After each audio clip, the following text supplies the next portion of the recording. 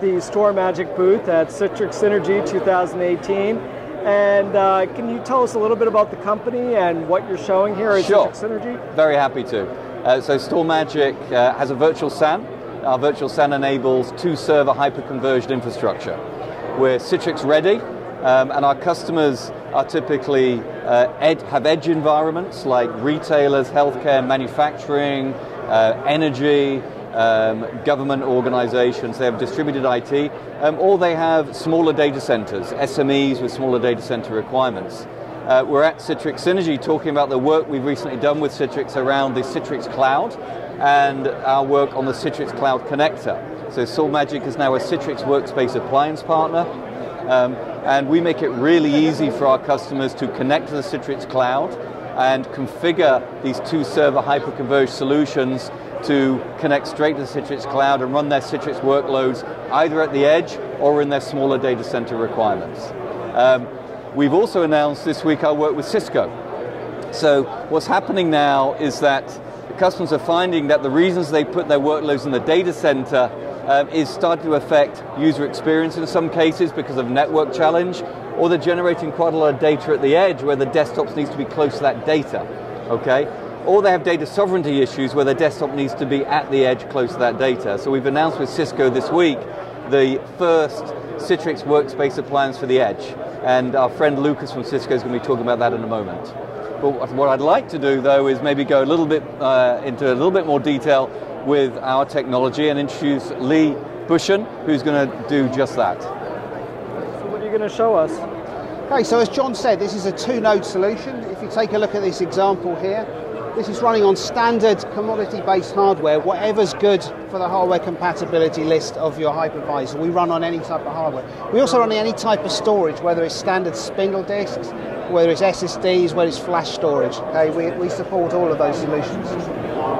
What SVSAN does is it sits underneath the hypervisor and it exposes the local storage on these two nodes just via standard iSCSI. So as far as the hypervisor is concerned, it's just a standard SAN you're talking to. Now, as well as data being written to the local storage on the machine, it's also mirrored across to the other node for consistency. And only when the two mirrors are in sync does it acknowledge back to the hypervisor that's happened. Great thing about this is you can now run virtual machines on top of this if there's a failure or something like some planned maintenance you want to do, you can move virtual machines across the other node using standard migration technology, live migration technology. If there's a failure of the server itself, we can use the standard HA technology in VMware or, or vSphere or Hyper-V uh, to, to actually restart those virtual machines on another node. Now, one of the issues with two-node solutions is often there's, there's, there isn't a second, a, a, third witness, you like, if you like. Um, so if the, the, two sides of the cluster lose connectivity with each other, then you can end up with data in, inconsistency. So what we have is a technology called a neutral storage host that sits at a remote or a uh, centralized location and can actually manage up to a thousand clusters in a thousand different locations. So not only do you manage your whole solution from standard tools that you already have in place, like vCenter or System Center VMM, but also we can manage the quorum and, and the consistency of data as well, um, up to a thousand, as I mentioned. So what we're here today and what we're talking about this week at Synergy is a solution that we've put together with Cisco and Citrix um, around UCS E-Series blades running inside ISR 4000 routers. Uh, it's a great solution. It's an out-of-the-box solution. You can take this, plug it into a branch office, and very, very quickly be up and running with virtual desktops. The way it works is you, you ship out to a branch, you get an IT person at that branch to turn it on. All they do is run a little wizard, and that connects up to Citrix Cloud. I'd like to show you that wizard in action, just to show you uh, that. Okay, so here's, uh, here's the wizard itself. So all this wizard does is it connects to Citrix Cloud and allows this appliance to be used just the same way as a normal resource location would, would be used in Citrix Cloud. We use the customer ID and their, their API keys to log in. We hit verify connection to Citrix Cloud. We decide after this what server we want to install the Citrix Cloud connector onto, and then we're up and running in about five minutes. We can provision workstations, um, either VDI images or shared um, hosted desktop images down to that appliance and be up and running really, really quickly. Awesome.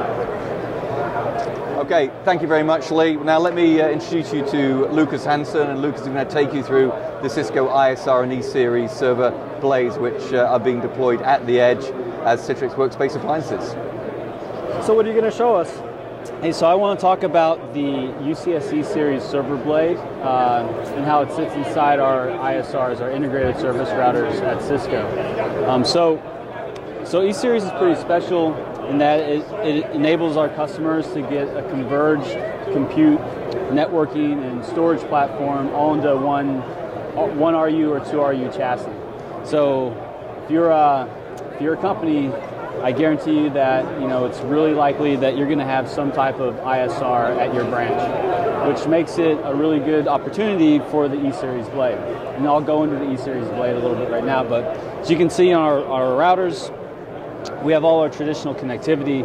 Um, this one has a switch port module. We have LTE. Some customers uh, will, are trending towards LTE for uh, alternate links, but also in some cases primary links if the site's remote or they need to get a site up quickly. And then we have an SSD drive uh, because there is compute native to the ISR. We, we do have at least one core if you have a small application that can run on the ISR without a server at all.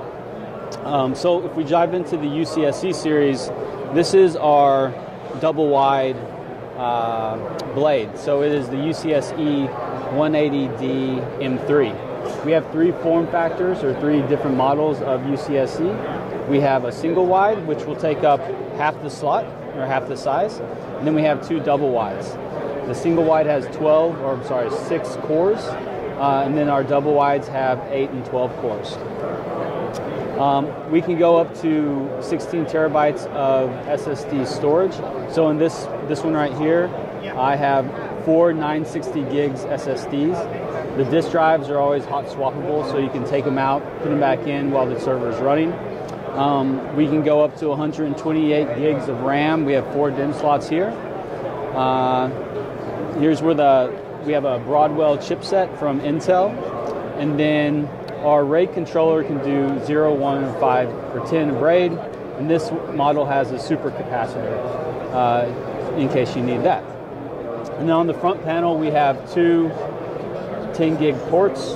Um, we have two USB uh, ports, and then we have uh, out of band management uh, for the server.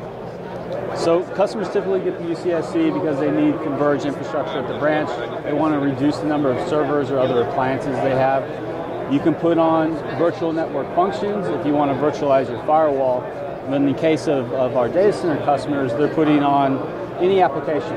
It's a server just like any other server. Um, it takes all the major hypervisors, and uh, we also do a lot of different solutions with partners. So StorMagic's a great partner that we have, uh, and they have an SVSAN solution, and then they also just recently came out with the Cloud Connector solution. So it's perfect for this use case where customers need to push workloads out to the edge, and they can put it right on the UCSE server. Well, thanks for taking the time to uh, show that to VMblog. You bet. Thank you.